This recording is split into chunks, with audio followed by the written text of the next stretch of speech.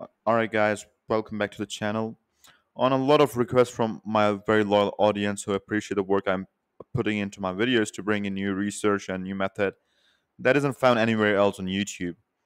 Today's video is totally will be on your eyes and the aesthetic problems in you, about your eyes and the reason your eye are shaped the way they're shaped and how to fix that per, uh, permanently.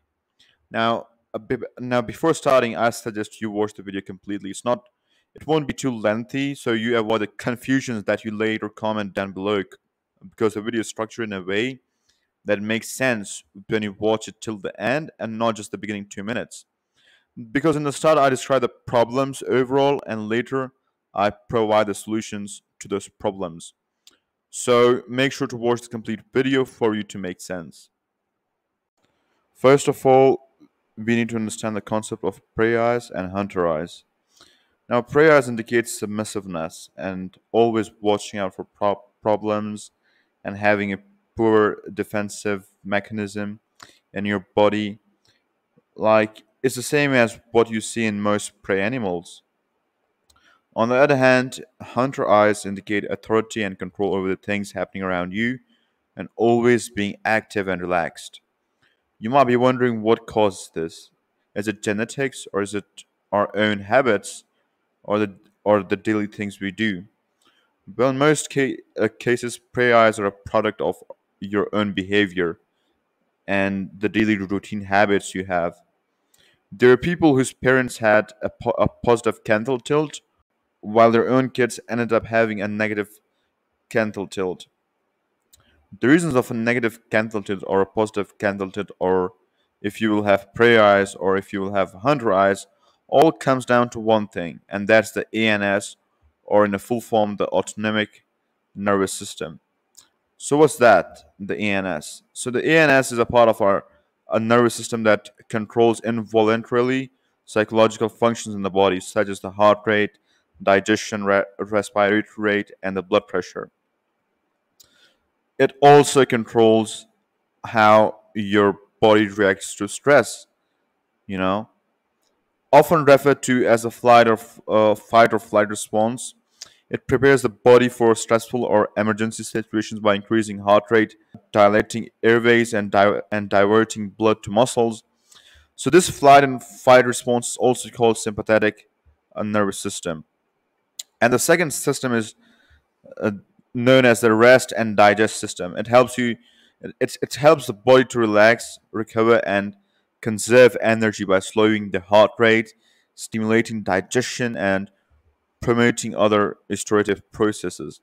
That's the second one. So the ANS has two parts fight or flight and rest and digest. Now you might be wondering why I am telling you this stuff and what connection does it have with your eye area. The eye area is a byproduct of your of your nervous system. If you're mostly in fly or fight mode, your eyes and your whole uh, body will be looking out for danger and hence making you the prey and the victim in your environment that you're in. On the other hand, if you're more relaxed and chilled and have nothing to worry about, your nervous system will know that you're the most dominant in your environment and there are no insecurities that that your body has to fight for. So for the most of the time, uh, practice re relaxing your eyes and taking stress out of your life.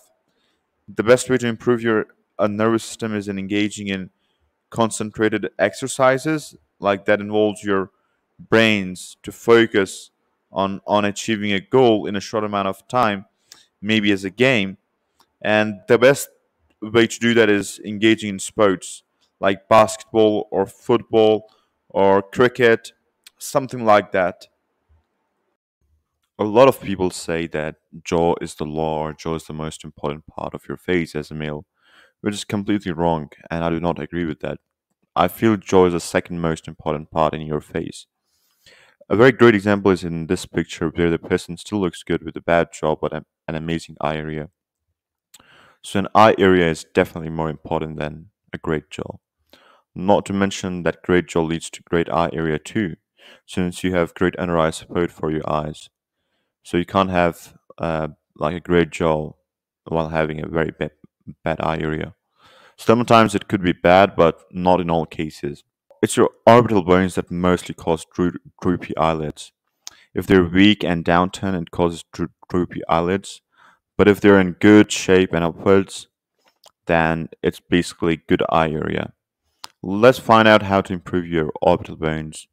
And for this, we'll be using a concept called bone hy- hypertrophy, which will improve your size and shape of the orbital bones.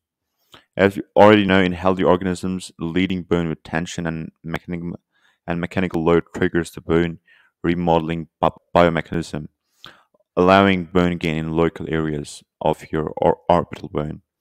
For this, we must get a bowl of clay or something like that. Um, you can make it out of clay. It is very important that our object adapts to the shape of our orbital bone. You have to mold um, a bowl according to your eye shape, not bigger than that, not smaller, smaller than that. And for this purpose, I used white clay and mold it freely according to my eye area. Now you have to slowly heat up your orbital bones and the eye area around it by having very light strokes with that bowl. Do it for at least 5 minutes every day. Make sure you don't blind yourself or hit your eye like the main eye socket because that's not what you're trying to hit. You should be hitting the orbital bone like the one in the picture. Now we're moving to the diet. Now the most important is the diet that influences our hormones and collagen production. For for hormones, I've already uploaded the most recent video on my channel. You you can check that out for a detailed guide. But the eye area is mostly made up of eye tissues and the skin around your eye. You have to increase the intake of protein and anim animal fat in your diet. Consume high amounts of beef or lamb fat and in just a few weeks you will start noticing results. You can also take collagen supplements to do that if you're a vegan. If you generally can't afford buying meat every day, you can also take the same supplements. Also, to you to reduce your upper eyelid exposure, the UEE, you you should try squinting and looking at the sun for a few seconds every day. Not in a harmful way, just for your eyes to adopt the state in a natural way so you don't look like a depressed weirdo when you're squinting. Also, as I've mentioned in my Unlock Your Best Look video, you should try maxing your eyelashes. You know, you should grow your eyelashes out and try to shape them in a way that it reduces your upper eyelid exposure, the UEE.